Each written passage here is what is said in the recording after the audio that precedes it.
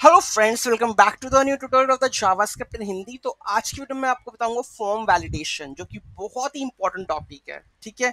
कहीं कहीं भी, भी हम क्या कहते हैं कॉन्टैक्टर्स फॉर्म बनाते हैं लॉगिन फॉर्म बनाते हैं रजिस्टर फॉर्म बनाते हैं। अब उसमें वैलिडेशन भी हम लगाते हैं कि नंबर एम नहीं होना चाहिए ईमेल का फॉर्मेट सही होना चाहिए या password should be length of six characters और समथिंग तो इस तरीके की वैलिडेशन पे हम फॉर्म पर लगाते हैं। तो किस तरीके से हम क्लाइंट साइड पे जावास्क्रिप्ट लेवल पे हम ये फॉर्म वैलिडेट करेंगे। ठीक है? तो आज मैं इस वीडियो में आपको बताने वाला हूँ तो स्टार्ट करते हैं।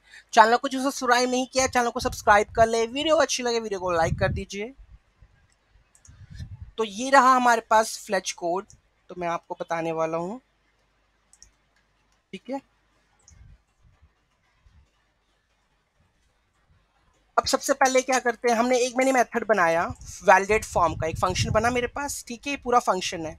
सबसे पहले मैंने क्या किया? Document dot forms my form name जब आप फॉर्म के अंदर रैप कर देते हो ना किसी चीज़ को, अभी मेरे पास फॉर्म नेम है ना, मेरे पास माई फॉर्म है।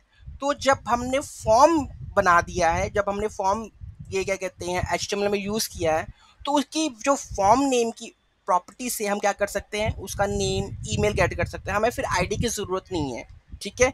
तो जब भी आपके पास फॉर्म के अंदर आप उसको नेम दे दो माई फॉर्म और उसमें से जो भी प्रॉपर्टी एसेस करना चाहते हो whether to be name email on behalf of it आप क्या कर सकते हो, उसको गेट कर सकते हो, उसकी वैल्यू को। ठीक है? अदरवाइज़ मैंने आपको दूसरा मेथड ही बताया हुआ है कि आप इसको यूनिक आईडी दे दो इनपुट फ़ील्ड को। ठीक है? और document dot get element by ID से क्या कर दो, उसकी वैल्यू को गेट कर लो। वो भी चल जाएगा। ठीक है?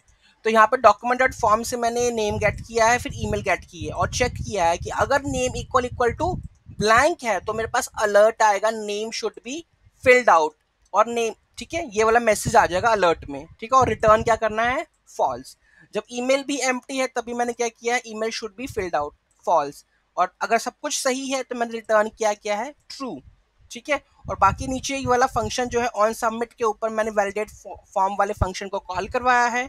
मेथड पोस्ट है, ठीक है? और ये मेरा सिंपल सा एच फॉर्म है, ठीक है? सेव करके मैं चला के दिखाता हूँ आपको. ठीक है, मैंने सबमिट किया।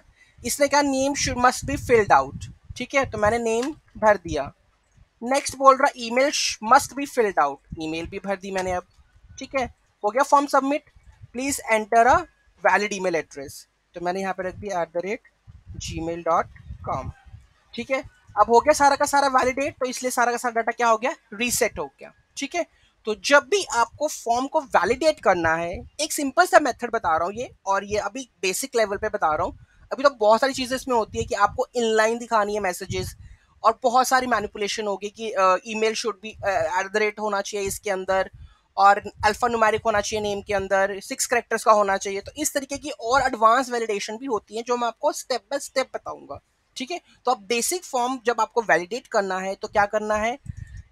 ठीक है? तो ऑन सबमिट के ऊपर मैंने क्या कर दिया? पूरे पूरे फ़ंक्शन को रिटर्न कर दिया, ठीक है? वैलिडेट फ़ंक्शन तो ये फ़ंक्शन पूरा का पूरा कॉल होगा और इसमें जो भी आपको वैलिडेशन लगानी है नेम की ईमेल की एज की तो आप लगा सकते हो और उसकी वैल्यू पर ही लगाओगे। तो आपको वैल्यू गेट करके उसकी वैल्यू पर ही आइट्रेट करना है, ठीक है? तो आई होप आपको समझ में आ गया होगा कि किस तरीके से हमें एक फॉर्म को वैलिडेट करना है, ठीक है? कोई भी डाउट है, कोई भी क्वेरी है let me know in the comment section thank you so much for watching this video have a great day